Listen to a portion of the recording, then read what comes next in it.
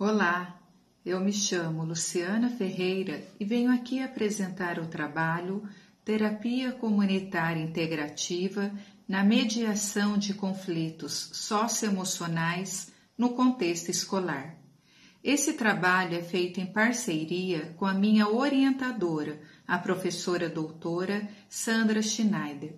Ele é um recorte de um trabalho em andamento feito com professores da educação infantil e anos iniciais do ensino fundamental de uma rede pública de ensino, mais precisamente de uma rede municipal. No período do estudo, de 2012 a 2016, a rede contava com 970 professores. A motivação para o trabalho foi o absenteísmo docente, que no período do estudo crescia a cada ano.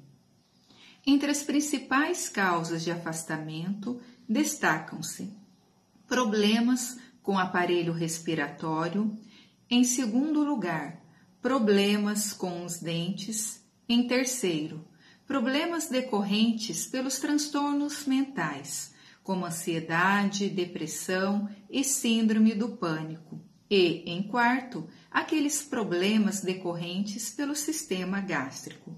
A terapia comunitária, também conhecida como TCI e rodas de conversa, foi implantada no segundo semestre de 2010.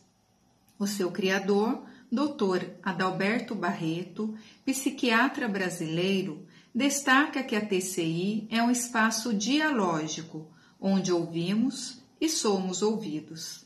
Não há a obrigatoriedade da fala, porém, ao ouvir as narrativas, essas histórias ressoam dentro de nós, possibilitando ressignificar as nossas próprias histórias.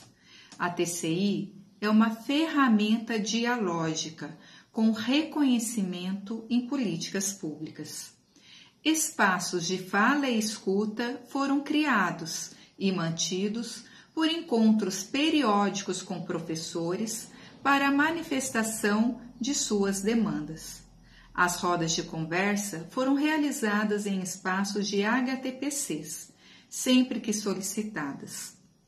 Quem as conduzia eram oito professoras da rede com formação em terapia comunitária. São cinco os grandes eixos em que a TCI se ancora: pensamento sistêmico, teoria da comunicação, antropologia cultural, resiliência e pedagogia de Paulo Freire. A partir dos pressupostos da TCI, o curso Cuidando de Quem Cuida foi desenvolvido. A presença majoritária era do gênero feminino.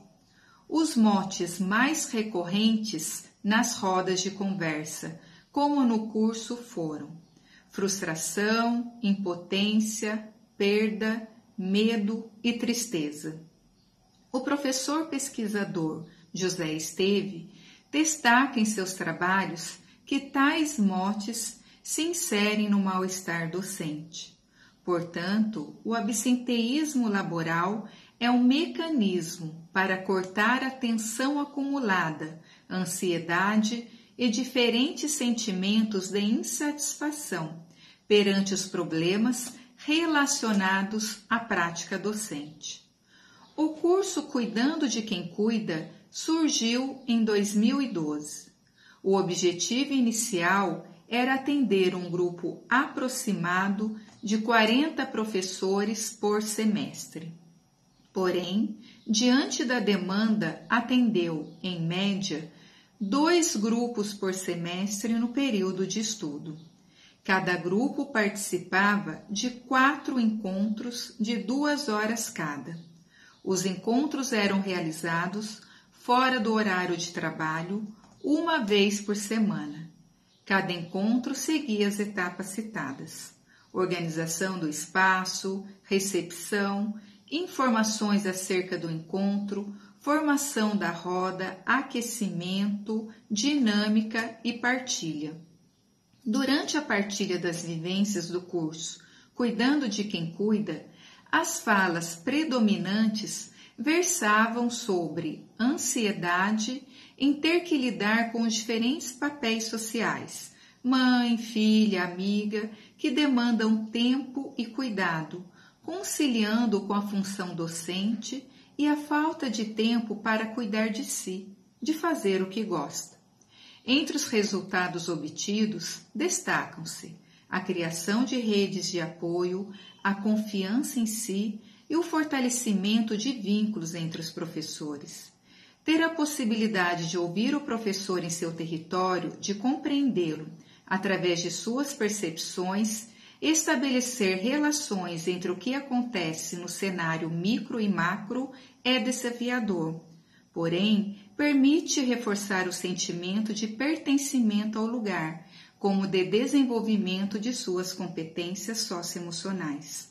Reforça-se a necessidade de dar mais visibilidade e voz ao professor, para que a doença não se manifeste como a única forma de comunicação.